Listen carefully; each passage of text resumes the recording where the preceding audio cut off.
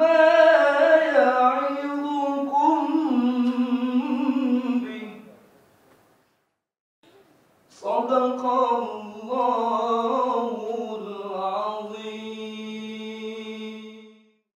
kamu menetapkan hukum di antara manusia, hendaknya kamu menetapkan dengan adil. Maha mendengar, maha melihat, maha benar Allah dengan segala firman-Nya.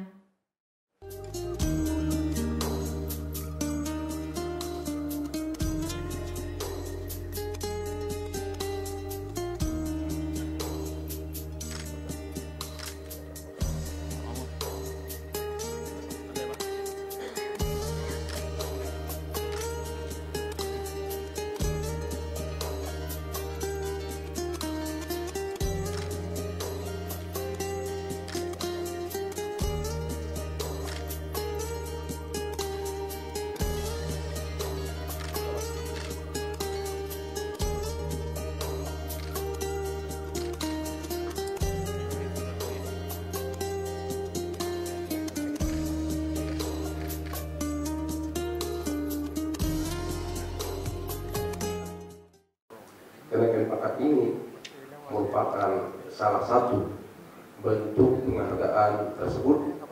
Penghargaan ini tidak hanya disesuaikan dengan masa kerja, tapi juga mempertimbangkan unsur prestasi, dedikasi, loyalitas, disiplin, dan pengabdian kepada masyarakat. Nah,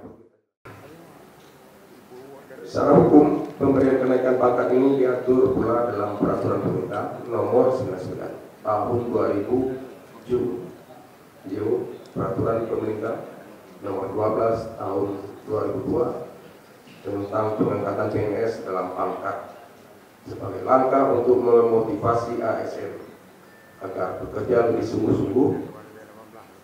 Kegiatan ini nantinya juga akan diikuti dengan pemberian kesempatan untuk berbagai pendidikan penjenjangan. Harapan saya, saudara-saudari mendapatkan kesempatan tersebut.